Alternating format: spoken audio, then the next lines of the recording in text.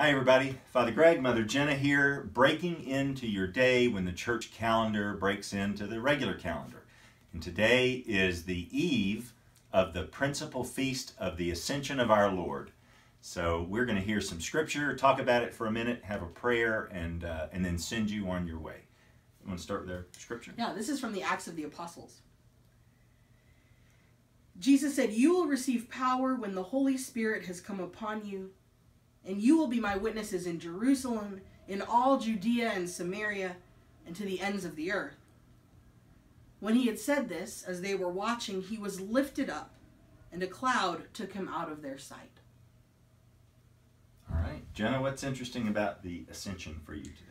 Uh, first, for me, the most interesting thing about the Ascension is that it is a principal feast. Um, that, according to our prayer book, Ascension is as important as Easter or Christmas or All Saints. Um, and uh, to me, I think about Ascension um, as as like the second half of Christmas. Mm-hmm. Um, that if at Christmas we think about what it meant that Christ came down to earth, put on flesh, brought heaven with him down to earth, and blessed all the stuff here. Um, ascension is when we recognize that when Jesus ascended up to heaven, he took all of that stuff, all of that creation, he took us, our matter, with him.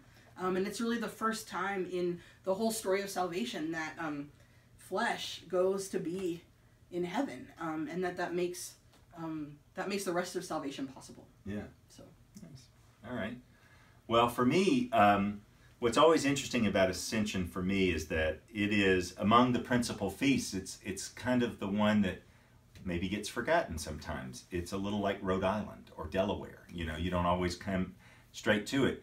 But uh, the, what's why I find it so fascinating is that if you think about this narrative of Jesus physically ascending up into the heavens, there's a piece of that that feels a little too out there to be taken as truth. Like maybe it's representative or it's, um, you know, it's a metaphor or it's it's mythology, and uh, and it's just kind of weird because we don't think of heaven as being just on the other side of the moon. So when he goes up into the sky, where does he go? On the other hand, when you think about ascension as being, as Jenna said, this sort of ultimate act of this salvation that Christ is involved in, sort of has taken on human flesh and now carries all that we are with him up to God, then it becomes incredibly profound. So there's this piece that feels a little too strange to be true and a little, and then the other side that feels incredibly beautiful and profound. And Ascension gets to kind of hang out with both of those truths. So uh, that's what I think about Ascension. awesome. You want to pray for us? Yeah, why don't we pray? This is from the Benedictine Daily Prayer book, a breviary. Let us pray. Blessed be you, Lord our God, by Jesus your beloved Son.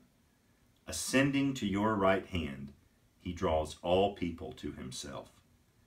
May our vigil now already share his joy, and may your church grow in all ways into him, who is the head, and makes the body one forever and ever. Amen. Amen. And I want to invite y'all to celebrate the Feast of the Ascension, this principal feast, with us tomorrow at 6.30. We'll do the Stations of the Resurrection, um, which will be, I think, really interesting and fun. Um, we'll celebrate Holy Communion together, and we'll have some cotton candy. So hope we see you then tomorrow at 6.30. All right. Thanks, everybody. Have a great day. Bye now.